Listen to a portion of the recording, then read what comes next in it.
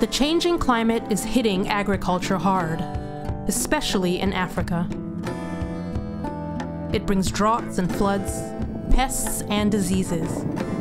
It means poorer crops, less food, and lower incomes. Climate change also accelerates land degradation. Two thirds of the world's poor depend on the land, and their livelihoods are at risk. This season we did plant, thinking that the rain will come in time. But to our surprise, the rain came very late, and you will find even our harvest is gone now to 40% only. To feed 9 billion people in 2050, global food production needs to increase by 70%. Here in 1975, these hills were covered with trees, and we used to have rain almost every single day of the year. And then people started cutting down trees for charcoal and firewood, and the forest has disappeared. And we do not have those rains anymore. Climate change has become a reality. But what if there was a way to grow crops and manage land with higher yields based on climate resilient systems while storing carbon in plants and the soil at the same time? Well, there is. It's climate smart agriculture. Examples of climate smart agriculture at work?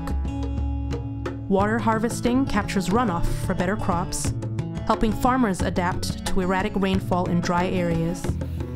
On farm trees protect crops from wind, provide nutrients through their roots and leaves, and are a source of fodder for livestock and firewood for the kitchen. Calliandra is a fodder legume, uh, and I have it a lot planted all over my farm as a soil conservation device. It's planted along the contours to prevent soil erosion. Uh, you can see this one is here, the other one is up here, and uh, quite a number are also downstream. Uh, another benefit of Calliandra, I also use it for as a, as a fodder crop, that is to, to feed my, my animals. Mulching and intercropping are practices that ensure more reliable yields. And zero grazed livestock can make intensive use of small plots, providing milk and returning manure to the land. The manure helps retain the moisture in the soil. So when we get little rain, the, the, the underground, the underground now has moisture.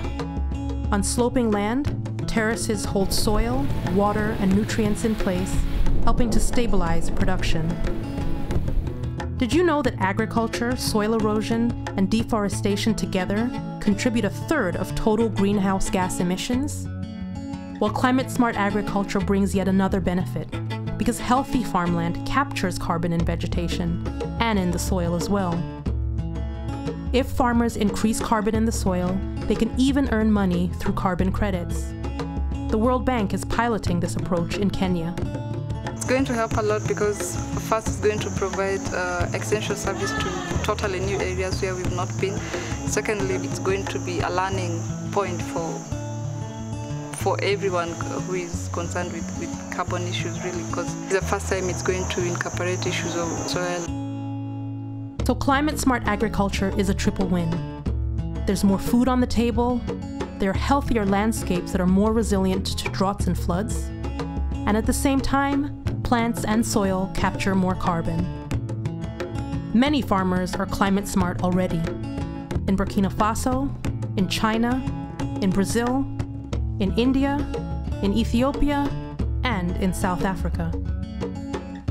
Climate smart agriculture. It's a path to green growth. So now is the time to take action.